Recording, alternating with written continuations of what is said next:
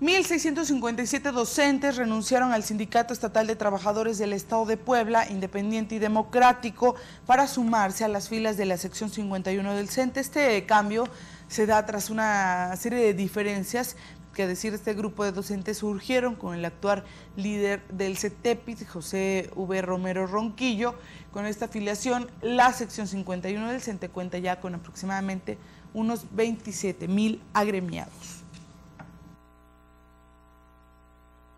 A todos y cada uno de ellos que son bienvenidos a las filas de esta organización sindical, al Sindicato Nacional de Trabajadores de la Educación, particularmente a su sección 51.